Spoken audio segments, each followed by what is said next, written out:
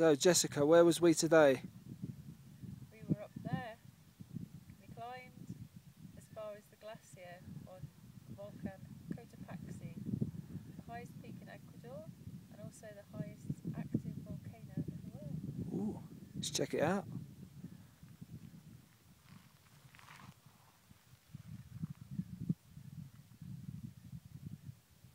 And now, we've come back down to a nice little spot where we're going to sleep the night. Mmm, coffee. Definitely. Coffee and sunshine, volcano and lake. Perfection. Perfection. Love you.